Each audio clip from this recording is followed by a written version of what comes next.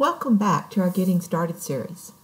Today we will learn about selecting objects, selecting designs, grouping and ungrouping objects and designs, and resizing designs. Before we get started, I want to tell you a little more about the value of your .EMB file format as it relates to our topics today. Remember, only EMB designs contain the complete set of design information as digitized and as required for 100% perfect scaling and transformation.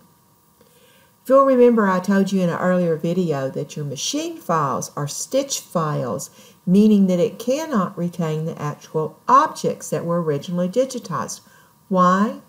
Because your machine only needs to know a few things, like where the needle points are and where the needle needs to drop into the fabric. So this is what the stitch file retains. However, one of the great things about Hatch is it has the capability to open stitch files and to create new objects. Most software cannot even do this. So while it cannot recreate all the properties exactly like the design was originally digitized, it does a really good job in recreating objects, which allows you to be able to edit these files in Hatch and do some resizing.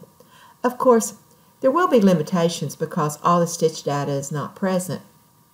And then, of course, there are those designs that have lost so much details that even objects cannot be created in an efficient manner. These type of designs you should use as is and not try to edit or resize. This is why you should always say the original design you created in Hatch as a .EMB before exporting to your machine's stitch file.